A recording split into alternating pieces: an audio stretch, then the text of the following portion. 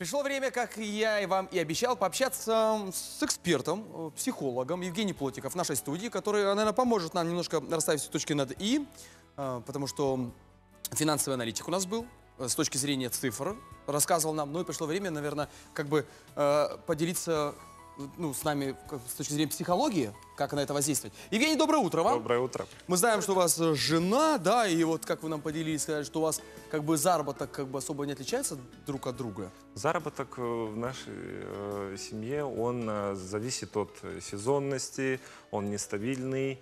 а, и сегодня ты можешь заработать больше, завтра, наоборот, супруга приносит больше денег, чем ты. Мгм. И в этот момент вы не напрягаетесь совершенно.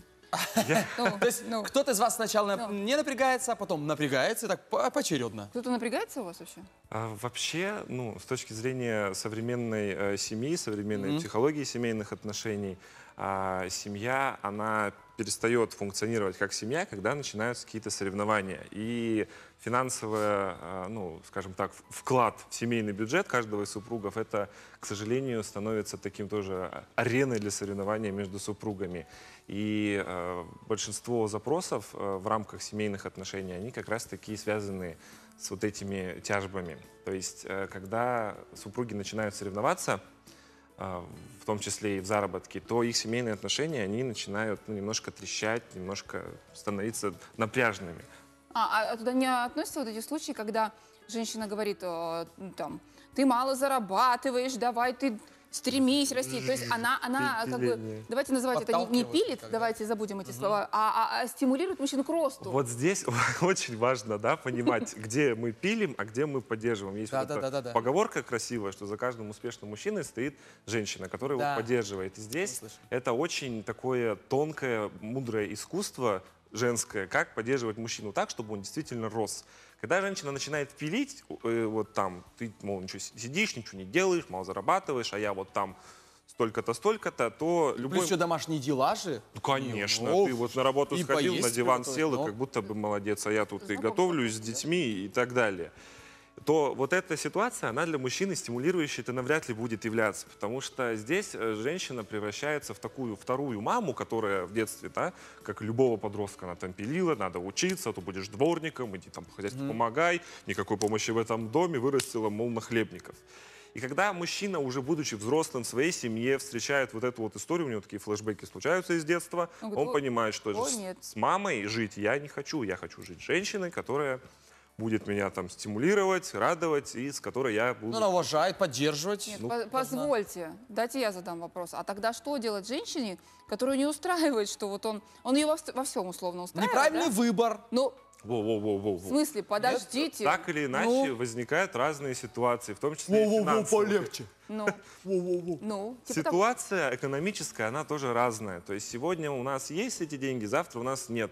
То есть у нас может случиться сокращение, у нас может случиться там все что угодно. Да. Пандемия, она очень много внесла изменений, да, вот Да. эта история дистанционная, карантинная, в том числе и на заработок людей. И здесь э, женщине важно понимать, да и мужчине тоже, если он хочет стимулировать своего партнера к росту, в том числе финансовому, он должен это делать не с точки зрения требований, вот ты иди и принеси, а с точки зрения именно поддержки и роста. Что я со своей стороны могу сделать для того, чтобы тебе было комфортнее расти? На самом деле, э, даже отсутствие человека здесь оно может помогать расти. Ну, грубо говоря, если ты мне не компасировал мозги, это позволило мне на работе быть более эффективным и найти время для своего роста. Да. Так, значит, нужно правильно, короче, найти вот эту грань между тем, как пилить и как действительно правильно поддерживать. А вот, знаете- само- э, Это научиться пра- правильно, если вы хотите его стимулировать, то есть это надо правильно уметь делать. Самое, самое простое здесь, мы пилим, а, когда мы пилим, мы критикуем за какие-то косяки, за какие-то ошибки. А э, это как в образовании есть правило красной ручки и зеленой ручкой. Когда мы отмечаем только ошибки, вот ты сделал там 100, делал правильно, ну, одно накосячил, Так. и мы начинаем пилить. Это неправильно, это, Неправильно. это пиление такое, да, Ага. это не будет мотивировать. А когда человек сделал 100 косяков, но одно какое-то дело сделал хорошо, и мы это оценили, и мы поддерживаем его И здесь. зеленой ручкой. Вот оно, Вот, хорошее. ты это сделал правильно, да. Это классно, мне Тогда это нравится. мотивация будет Это у него. мотивация будет лучше, да. То есть сегодня он сделал одно дело хорошо, завтра два, три и так далее. А, вот так вот, да? Вот, Ты- вот, э- вот так понял? отличает- Я-то все понял, это надо девушкам понять, чтобы не пилить нас просто так. А мужчинам здесь тоже нужно э, правильно показывать женщине, какая поддержка им нужна, потому что мужчина же он тоже любит повыделываться, он тоже э, не хочет признавать там, да, когда у нас особенно ситуация, когда фактически есть разный уровень заработка, и он стабильный в течение долгого времени, и ну никакому мужчине не нравится находиться в этой ситуации, потому что друзья начинают тебя Да. там поджуживать, а чего там твоя-то больше зарабатывает, мамы, А, папы. Подкаблучник! Вот. ага! Мама с двух сторон, да. Вот и началось. все вот эти истории. А, Евгений, у нас э, времени очень мало. Все, нам приходится заверша- завершать э, разговор. А, Приходите к нам еще. Давайте будем обсуждать тему отношений. Это всегда круто.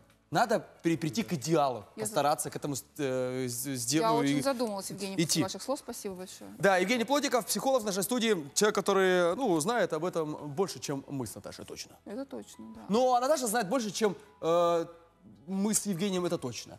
Про новости. Понимаешь, вот такая вот иерархия, понимаете, выстроилась, поэтому я пойду в новости.